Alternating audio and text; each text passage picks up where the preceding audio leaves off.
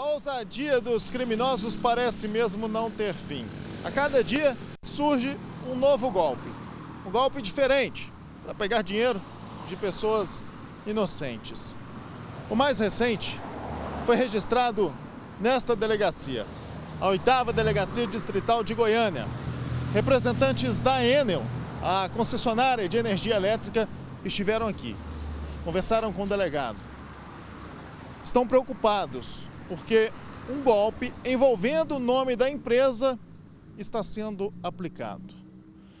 Dois homens em uma bicicleta estão percorrendo várias ruas da capital e deixando na caixa de correios das casas esta correspondência. O informativo com logotipo, CNPJ, todos os dados da empresa. E com a seguinte informação: a bandeira tarifária para o mês de outubro, novembro e dezembro será vermelha, patamar 2, com custo de R$ 10 a cada 100 kW consumidos. Como consequência, houve aumento do preço da energia elétrica no mercado de curto prazo. A carta ainda diz que o consumidor precisa pagar o valor tarifário referente à bandeira vermelha 2 dos meses subsequentes. O valor está aqui, olha, R$ 34,90. É um boleto com código de barras e tudo pessoa sem saber paga o boleto. Só depois descobre que foi vítima de um golpe. E o interessante é que não tem é, nome da pessoa, o nome do consumidor, não tem o endereço do consumidor.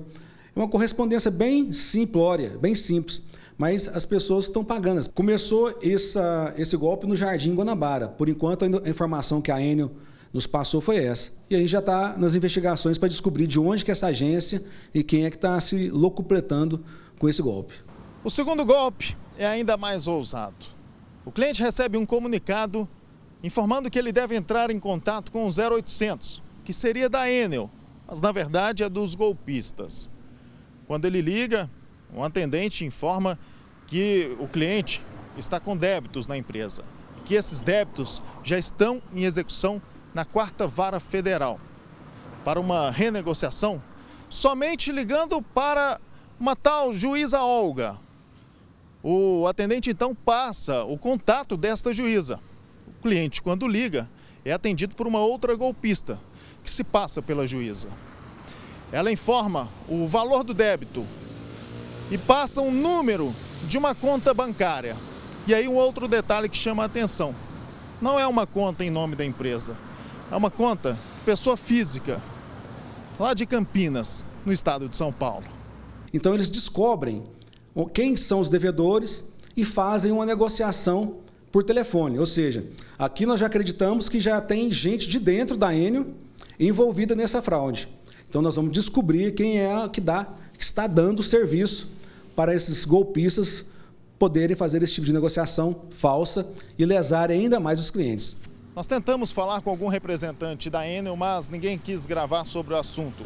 A empresa emitiu uma nota dizendo o seguinte: a Enel esclarece que o documento não foi emitido pela distribuidora.